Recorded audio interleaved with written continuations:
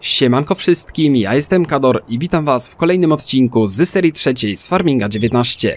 E, Dzisiaj planuję naprawdę bardzo duże wydatki, gdyż mam zamiar kupić po pierwsze największy ciągnik, jaki kiedykolwiek kupiłem w Farmingu 19, mam tutaj na myśli ilość koni mechanicznych, po drugie największy siewnik, jaki kiedykolwiek kupiłem w Farmingu 19 i po trzecie największe pole na mapie Ravenport. Więc jak widzicie, dzisiaj w odcinku jest naprawdę rozmach. Więc tak, przeniosę się pod sklep, by sprzedać po pierwsze siewnik Amazone, z którego korzystałem do tej pory i John Deere'a z serii 8RT. Jeden z, chyba jeden z moich ulubionych ciągników w ogóle tutaj w 19, no ale dobrze mi służył, czas jednak kupić coś jeszcze większego.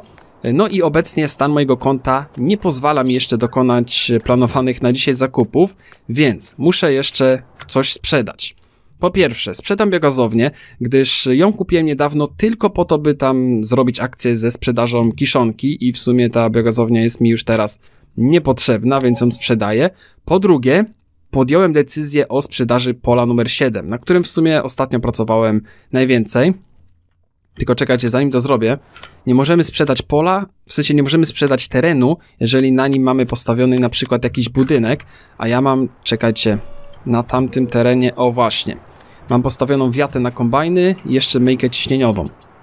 Czyli czekajcie, najpierw to sprzedam. No tylko weź to znajdź, budynki są zawsze na samym końcu w sklepie. Dobra, zadaszenie sprzedane, to jeszcze teraz myjka ciśnieniowa. Dobra, czyli można sprzedawać teren. I od razu zakupię nowe pole. Będzie to pole numer 8, czyli największe pole na tej mapie, które kosztuje, znaczy teren kosztuje, jak widzicie, milion 200 tysięcy euro. Ja obecnie mam na koncie 2 miliony 680 tysięcy, czyli to jest chyba też w ogóle rekord pieniędzy, jakie ja miałem na koncie w Farmingu 19, tak mi się przynajmniej wydaje. Dobra, sprzedajemy, e, kupujemy ten teren i tutaj jest ściernisko po... Po czym tutaj jest ściernisko? Chyba po rzepaku. Tak, po rzepaku, dobra. I wymaga wapna, ale to już mi się nie chce dzisiaj tego wapna rozrzucać następnym razem, e, bo z racji tego, że kupuję nowy siewnik, to oczywiście dzisiaj zrobię zasiewy.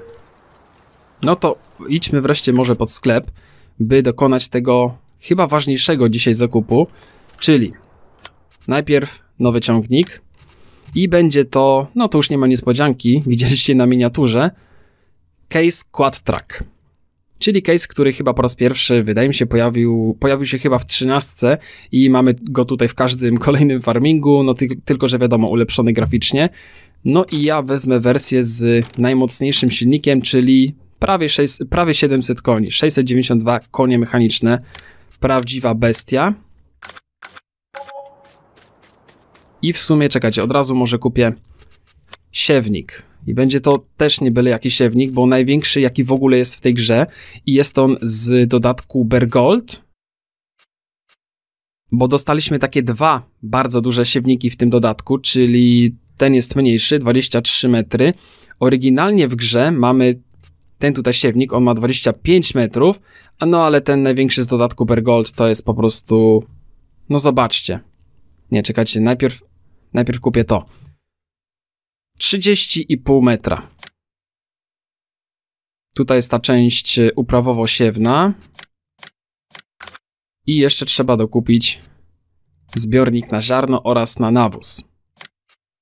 Potężne wydatki, naprawdę. Zobaczcie, miałem 2 miliony 700 tysięcy euro i zostało mi 185 tysięcy, więc dobrze, że chociaż coś zostało, co nie? Ok, no to wsiadamy do case'a Quad Tracka. Kurczę, jak ja dawno w tym ciągniku nie siedziałem, serio.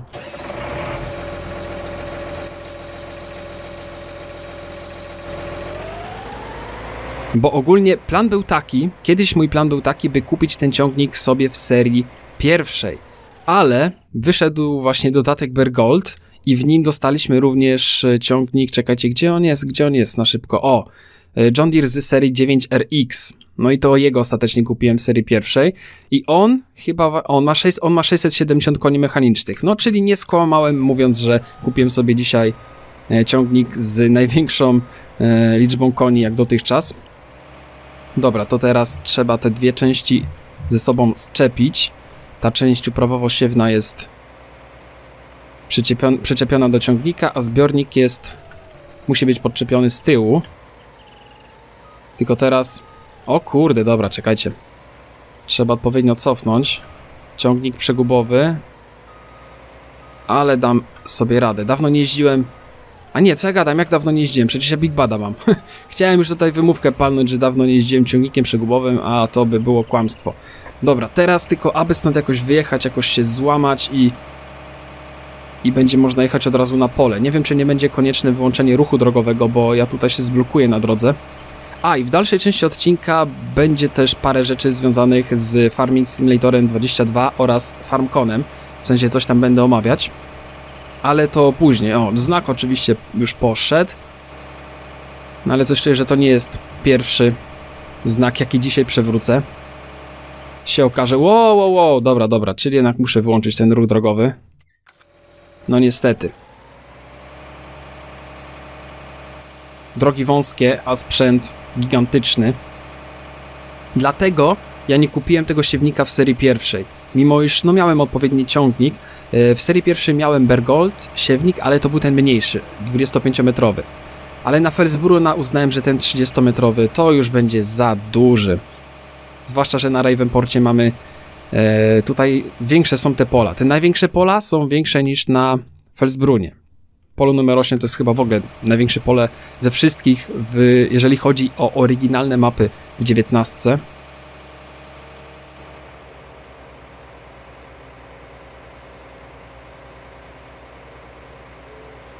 I tutaj, zaraz zobaczycie, mam już przygotowane ziarno oraz nawóz, by sobie do tego siewnika nasypać. O, już zaczepiłem. Tego się właśnie obawiałem, ale chyba Chyba uda mi się jakoś wyjechać. O kurde no. Te latarnie to mogła być dzisiaj, mogła być dzisiaj moja zguba. Yy, bo czekajcie, ten siewnik jest o tyle specyficzny, że tutaj jak klikniemy klawisz N, to zobaczcie, z tyłu się rozkłada taka rura i ona wędruje nad, najpierw nad zbiornik na ziarno, a potem jak klikniemy jeszcze raz, to nad zbiornik na, na nad zbiornik na ziarno. I teoretycznie, wiecie, mógłbym to zrobić w stylu, że miałbym, kupowałbym pod sklepem worki z ziarnem i chyba jakbym worek postawił obok tego, to też by jakoś zadziałało, ten załadunek ziarna, albo gdybym ładowaczem teleskopowym worek nadto, tak jakby no umieścił, to też by to zadziałało, ale ja zrobiłem, trochę się namęczyłem przed odcinkiem i zrobiłem w ten sposób, że tutaj sobie na naczepę nasypałem ziarno z worków i elegancko przeładuję to ziarno zaraz na siewnik i tam w drugiej przyczepie mam jeszcze nawóz. Jest to gigantyczny zbiornik, więc trzeba było bar trzeba bardzo dużo ziarna i nawozu, żeby go napełnić. Więc muszę tak cofnąć, by ten syp znajdował się tuż nad tą rurą, tak jakby. O, dobra. Działa. No i tutaj ziarno już ląduje w zbiorniku.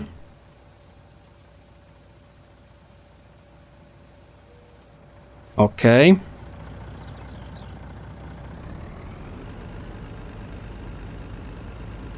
Jak widzicie, bardzo dużo zajmują tu same przygotowania. Po pierwsze dojazd tym siewnikiem, po drugie uzupełnienie go, no ale wiecie, to jak już zrobię raz, to Chyba na dosyć długo starczy to ziarno oraz nawóz, bo to jest naprawdę bardzo duży zbiornik. Zresztą to się okaże.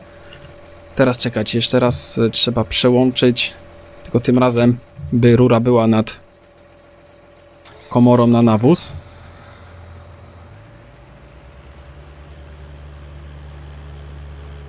Ale spoko jest coś takiego, takie wiecie, tutaj przygotowania przed samym siewem. Z reguły po prostu Kupuję siewnik, kupuję worki pod sklepem i automatycznie uzupełniam siewnik, jak się kliknie R, to on się uzupełnia. A wiecie, tutaj fajnie, bo są takie, jest taki element przygotowań, więc spoko to wygląda. Dobra, i teraz jeszcze nawóz i zaraz będzie można zacząć siew.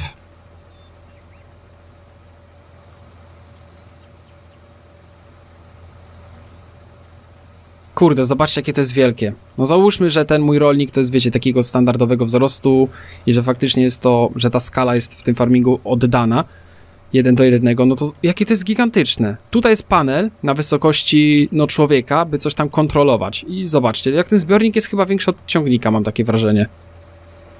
Albo przynajmniej jest bardzo... No nie, serio, wydaje się większy niż sam ciągnik. Masakra. Dobra.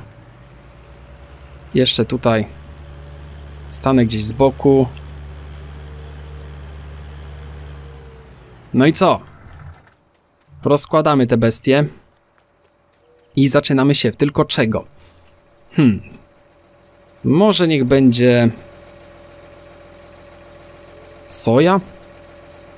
Czemu nie? Może być soja. Więc muszę złożyć najpierw zbiornik i zaraz rozłożę siewnik. Tylko czekajcie, zawrócę, bo z takim zestawem samo zawrócenie może być problemem, ale na szczęście widzę, że wokół tego pola nie ma jakichś drzew, czy czegokolwiek, co mogłoby mi tutaj... Znaczy, okej, okay, jest z drugiej strony. Z drugiej strony pola jest problem, że tam jest blisko bardzo jeden ze skupów i może być tam problem z zawracaniem, ale z tej strony na szczęście jest git. Dobra, rozkładamy. Tylko jeszcze włączę tutaj soję. No i co prawda nie napełniłem tego, siewnik, e, tego zbiornika do pełna, no ale tyle co mam nawozu i ziarna to powinno raczej starczyć na długo, ale zobaczymy, w sumie zobaczymy. O, dobra, czekajcie.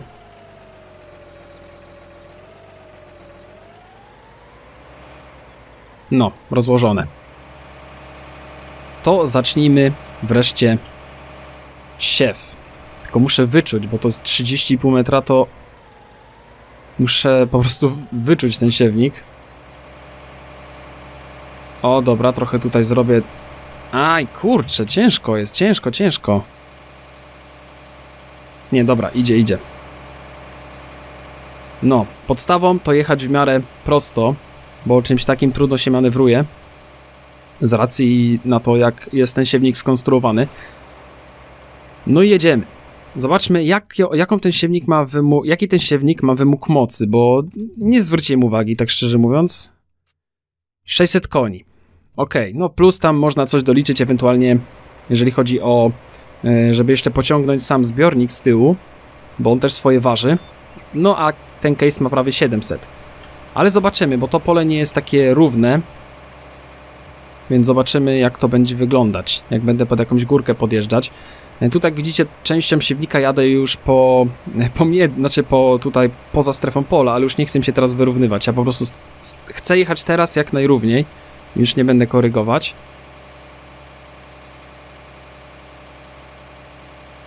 No i to jest potężny sprzęt. Ja bardzo długo zwlekałem z zakupem nowego siewnika, yy, tamten Amazona, ja długo z niego korzystałem. To już był siewnik, który mnie nawet trochę wkurzał, bo na polu numer 7, no to tym Amazonem siew schodził dosyć długo.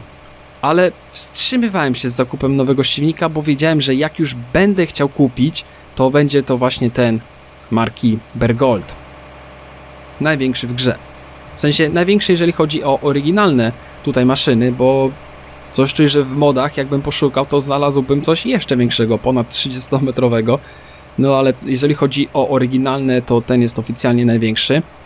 O, i widzicie, tu jest właśnie problem.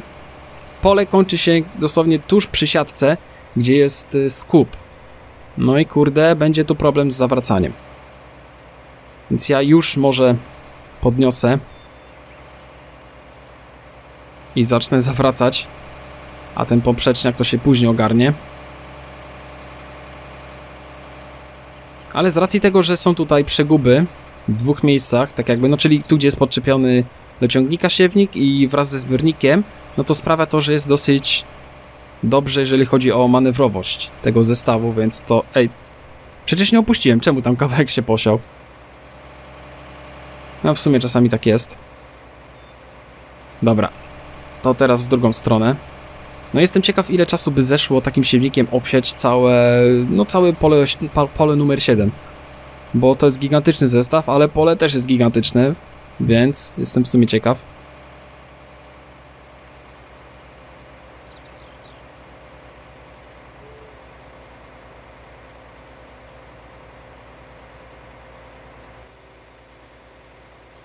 No i dawno się z tym case'em nie widziałem, kurczę, ja go ani razu nie kupiłem, bo serio, miałem w planach go kupić w serii pierwszej, no ale wyszedł w dodatku Bergold John Deere, ten yy, przegubowy i ostatecznie jego wybrałem. Ale coś czuję, że to nie jest największy ciągnik, jaki ja tu kupię, bo nie wiem, czy w przyszłości nie kupię sobie jeszcze... Mimo iż ten case jest już w zupełności wystarczający, to nie wiem, czy nie kupię w przyszłości Big Bada, tego największego. Tak po prostu, aby go sobie kupić tutaj, jako już wisienkę na torcie yy, tu w serii trzeciej. Bo ten case już mi wystarcza, jeżeli chodzi o wszystkie maszyny, jakie są w tej grze. Ale po prostu chciałbym tego Big Bada kupić, bo na pewno tego nie zrobię w serii czwartej, bo aż, no tam aż tak raczej gospodarki nie będę rozwijać. Nie, inaczej, raczej nie zdążę jej rozwinąć do takiego poziomu przed premierą, przed premierą Farminga 22. Więc w przyszłości jeszcze sobie tego Big Bada kupię tak, tak po prostu.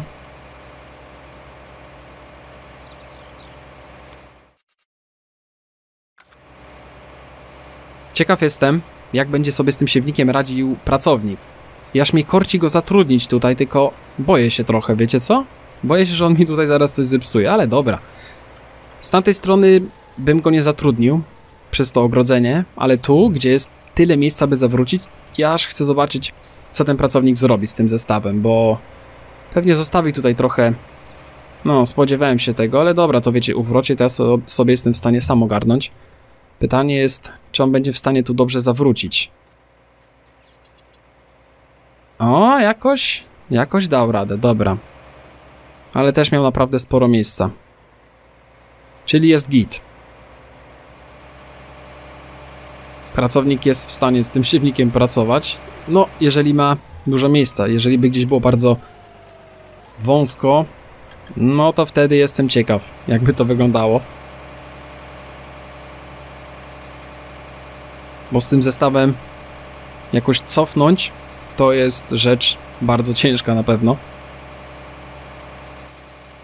Dobra, to przejdę może do tego, o czym wspomniałem na początku, jeżeli chodzi o FarmCon, jeżeli chodzi o Farming Simulatora 22. I zacznę być może od informacji o FarmConie tegorocznym. Dla przypomnienia, FarmCon to jest e, taka impreza organizowana przez twórców farminga. Z reguły trwała 3 dni i miała miejsce i odbywała się w Niemczech.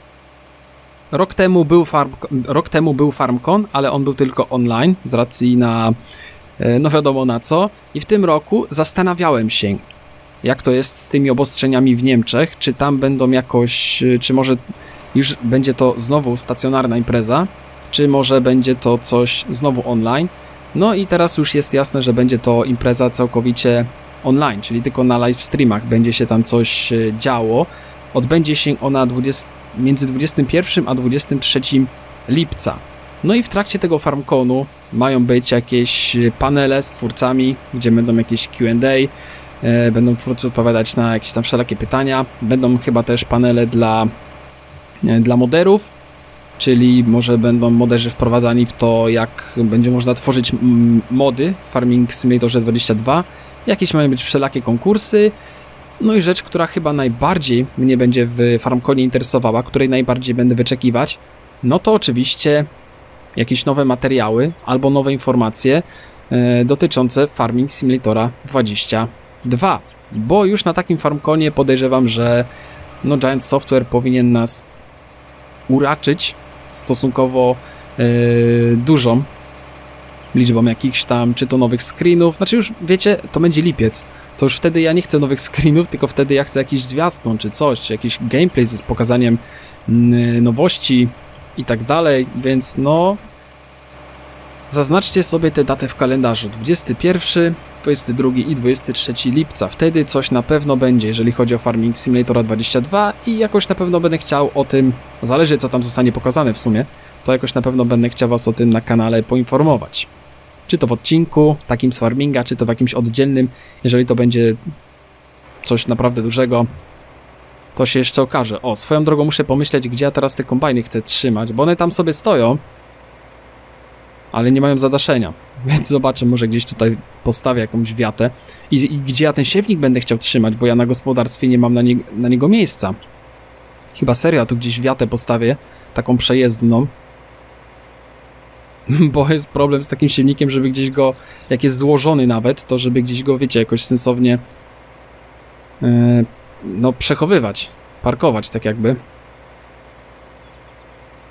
I kolejną sprawą jest związaną z Farming Simulatorem 22 jest to, że na oficjalnej stronie Farming Simulatora pojawił się kolejny podcast, bo Giant Software od jakiegoś czasu robi podcasty. Z reguły ich nie słuchałem, ale kiedy zaczęły one e, trak traktować trochę o Farming Simulatorze 22, no to wtedy się nimi zainteresowałem. I jeżeli chodzi o ten podcast, to w sumie nie było tam jakichś takich mega konkretów, bardziej takie powiedzmy ogólnikowe rzeczy, ale jednak e, było zadane tam, nie inaczej, twórcy odpowiedzieli na pytanie, czym się będzie różnić wersja Farming Simulatora 22 na stare konsole od tej na nowe konsole. No i zostało tam po prostu powiedziane to, czego można było się w sumie spodziewać, czyli że po prostu na nowych konsolach, no że ta wersja będzie po prostu lepsza, że powinna chodzić lepiej, działać płynniej i być może również trochę lepiej wyglądać. Yy, I w sumie, o kurde, czekajcie, bo zaczepiłem o słup, to nie ma problemu, złożę sobie po prostu. Czyli w sumie takie rzeczy, których mogliśmy się spodziewać, że będzie chodzić lepiej i wyglądać lepiej, ale jestem ciekaw, bo nie gram w farminga na konsoli i nigdy nie grałem, ale wiem, że tam jest coś takiego jak sloty na modyfikacje, że na PC to możecie mieć 5000 modów i no powodzenia, jeżeli gra będzie jakoś dalej działać, ale na konsolach jest limit, jeżeli chodzi o te modyfikacje z oficjalnej strony, bo tam jest ograniczona pamięć, wiadomo, jednak konsoli i tam ileś jest slotów, nie wiem ile, więc być może będzie też liczba tych slotów zwiększona na konsolach nowej generacji, ale tego oni tam nie potwierdzili. I ja nie wiem jednej rzeczy, czy farming, bo nie grałem, nigdy nie grałem farminga 19 na konsoli, więc jak ktoś z was grał, to mi napiszcie, czy gra chodzi tam w 30, czy 19 chodzi na takim Xboxie One bądź PS4, czy ona chodzi w 30 FPS-ach, czy ona chodzi w 60? Bo nie wiem. Strzelam, że w 30, ale naprawdę nie mam pewności, więc jak ktoś jest pewny, jak ktoś rozróżnia, bo niektórzy konsolowcy bez urazu oczywiście nie rozróżniają 30-60 fps, to dajcie znać, bo nie wiem. Strzelam, że 30, bo to jest takie no, typowe na tych starych konsolach, ale kto wie, może farming w 60. No to zakładam, że na nowych konsolach farming będzie działać w 60 fps po prostu stałych, a kto wie, być może nawet 120, jeżeli dobrze zoptymalizują, bo tak potrafią gry chodzić na tych nowych konsolach, że 120 fps nawet. Więc no, nieźle, nieźle. I było też kolejne pytanie, e, na które to odpowiedź nie za bardzo mnie usatysfakcjonowała i było to pytanie, jak długo Farming Simulator 22 jest już w produkcji. Odpowiedź była taka strasznie ogólnikowa i powiedziałbym, no, że nie zdziwiła mnie taka odpowiedź, ale spodziewałem się konkretów. W sensie, bo nam się może wydawać, że ok, Farming Simulator 22 wychodzi pod koniec roku, 19 wyszła w 2000, pod koniec 2018 roku, no to się może wydawać, że Farming Simulator 22 był w produkcji 3 lata.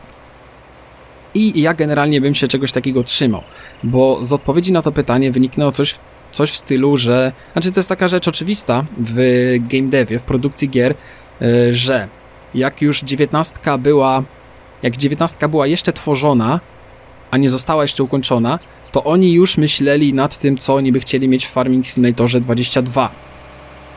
I to jest ok, bo wiadomo, często jak już osoby, które tworzą koncept jakiejś gry, które ją tak jakby projektują i zrobiły już swoją robotę, no to przechodzą do kolejnej e, produkcji, czyli tak naprawdę to, co miałoby mieć 22, to jeszcze przed premierą Farming Simulatora 19 było przez Giant Software, e, już tam wiecie, już zaczęli o tym myśleć. E, ale to nie jest tak, że od razu jak skończyli, ja tutaj mówię oczywiście, co oni tam w tym podcaście mówili, to nie jest tak, że oni skończyli robić 19 i nagle wszystkie ręce na pokład, żeby robić 22. Tylko, że osoby przechodziły stopniowo, bo to do 19 trzeba było zrobić aktualizację, trzeba było pracować nad maszynami i nad mapami, no właściwie nad jedną mapą, które były w dodatkach, czyli to nie jest tak, że 19 wyszła i od razu wszyscy tworzą 22, tylko stopniowo coraz większy zespół zaczął tę 22 tworzyć w ciągu tych ostatnich 3 lat. No i teraz e, tam było powiedziane, że już, już praktycznie wszyscy pracują nad 22, od kiedy wyszedł ostatni dodatek do 19. Więc ta odpowiedź była o tyle, ja bym chciał usłyszeć od kiedy większość Giant Software pracuje nad 22, bo to by bardziej pozwoliło się nam dowiedzieć, kiedy już te prace nad 22 ruszyły pełną parą. No bo wychodzi na to, że tak jakby ta gra tak czy inaczej powstawała 3 lata. Mieli 3 lata, żeby ją stworzyć. Ktoś powie, no ale robili dodatki. Tylko, że do poprzednich farmingów też robili dodatki, a mimo to wyrabiali się z nowym farmingiem co 2 lata. Tu mieli 3 lata i też robili dodatki w takim samym mniej więcej odstępie czasu, jak to było z dodatkami do poprzednich farmingów. Więc ja traktuję, że 22 miała pełny trzyletni cykl, cykl produkcyjny i tak też będę na nią patrzeć, jak na grę, która miała 3 lata na to, żeby powstać. Takie jest moje zdanie. Zobaczymy, jak to będzie po premierze. E, I w sumie tam jedna taka rzecz została ciekawa powiedziana w, 20, e, w tym podcaście. Taka ciekawostka. Kurde, ale dzisiaj wyjdzie bardzo długi odcinek, ale było sporo roboty i też e, jak ja mam o czym gadać, to ja potrafię długo gadać, więc mam nadzieję, że siedzicie jeszcze i to oglądacie. Więc tam zostało powiedziane, że do Farminga 17 wyszedł mod Seasons. Yy, nie, czekajcie, w ogóle chyba mod Seasons. Nie pamiętam, czy on się w ogóle pojawił po raz pierwszy w 17, czy w 17 już wyszła dopiero taka jego bardzo ulepszona wersja. I w tym podcaście było powiedziane, że mod Seasons zainteresował Giant Software, ale był na tyle późno wydany do 17 i prace nad 19 były już wtedy na, na tak zaawansowanym poziomie, że oni już wiedzieli, że nawet jakby chcieli, to i tak tego, tych pół roku do 19 by nie dodali i po prostu stwierdzili, że nie wyrobią się z tym na 19, to że w kolejnym farmingu, no czyli w 22 e, już raczej będą chcieli te pory roku coś na kształt moda Seasons dodać. I to było w sumie takie ciekawe, że już wtedy ten mod, że te pory roku na tyle im się spodobały, no ale 19 już była na tak... Mm, bo nie wiem, mi się wydaje, że Seasons to wyszło grubo kilka miesięcy po premierze 17, jak nie ponad rok. Nie pamiętam naprawdę, jak coś to napiszcie. No i wtedy prace nad 19 były już zbyt zaawansowane, żeby, żeby wprowadzić tak dużą nowość jak pory roku, więc stwierdzili, że odpuszczą to sobie w 19 i zrobią w kolejnym farmingu, nas, w następnym. Więc to było takie w sumie ciekawe. Tylko to ja, mam, to ja bym chciał pytanie zadać na podcast. Skoro wtedy e, już myśleli, jak robili dziewiętnastkę, że już nie wyrobią się z porami roku, a to jest coś, co gracze by chcieli, no to dodadzą to w kolejnym farmingu. W ogóle tam było poruszone w tym podcaście trochę tego, e, jak to jest z pomysłami od graczy, które są im nadsyłane, że niektóre z nich e, są bardzo inaczej, że ludzie odpowiedzialni za e, odpowiedzialni za mm, za kontakt z, ze społecznością, że na bieżąco starają się jakieś tam prośby fanów i tak dalej przekazywać zespołowi deweloperskiemu i że nie każde te pomysły przechodzą, bo niektóre są bez sensu i tak dalej. Ale to moje pytanie jest takie: ile lat już twórcy. Nie, oni tam powiedzieli, że starają się dodawać to, co społeczność faktycznie chce, między innymi jak pory roku. Ale to ja mam pytanie, to ile lat już społeczność chce, żeby dodać fizykę gleby, w ogóle glebę 3D i tak dalej? Dłużej są chyba takie prośby, mam wrażenie, niż same pory roku. A przynajmniej tak, no przynajmniej z mojej strony, tak mi się wydaje. I co? I wygląda na to, że w 22 nadal nie będzie tych, no na chwilę obecną nie ma tej fizyki gleby, więc no. Tym akcentem chyba chciałbym zakończyć dzisiejszy odcinek. Wow, wyszedł naprawdę mega, mega długi, ale musiałem się wygadać. Zobaczcie, pole już ponad połowie obsiane, jeszcze tam trochę zostało roboty. Widzę, że ciągnik pod górkę to trochę ciężko miał. Nie osiągał tej maksymalnej prędkości 18 km na godzinę. Czyli chyba jednak zakup Big Bada jest bardziej uzasadniony niż myślałem, bo on już raczej powinien siać z pełną prędkością. I zobaczcie, jakie mało ziarna zużyłem. Tak jak ja teraz tutaj napełniłem ten zbiornik, to mi raczej starczy na dosyć długo. Dobra, ale już kończę tę gadkę.